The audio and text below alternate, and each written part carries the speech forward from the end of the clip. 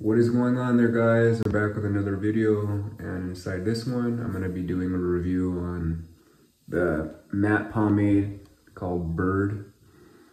And um, you know, years ago when I was on YouTube I seen a review on this one. I, can, I think that's when they very first came out and everything. So like um, I found it at Walmart and they had so many other ones. They had um, like the, the shine type pomade or the clay. But I went with the matte version because I like the matte type of stuff. You know, I like the shiny stuff too, but I went with matte to get a natural type of look. So with that being said, here's the can. You know, it's made in right here inside California, so that's pretty cool. This is what a, here's what the, the can looks like. Here's from the underneath the lid. It says look slick and here's what the pomade looks like itself. It's This one's like a white creamy type.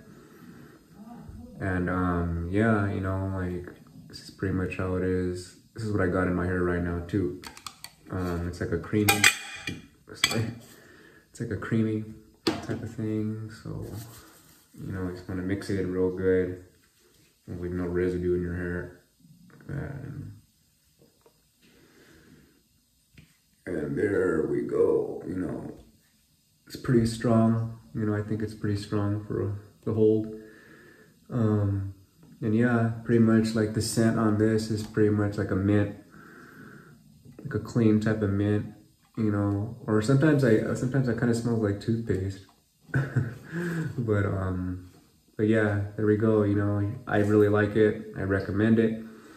So give it a try. You know, this is the matte pomade by Byrd. And um, yeah, give it a try. Thank you guys so much for watching. And um, you guys have a good day out there. Nice seeing you guys again. So later.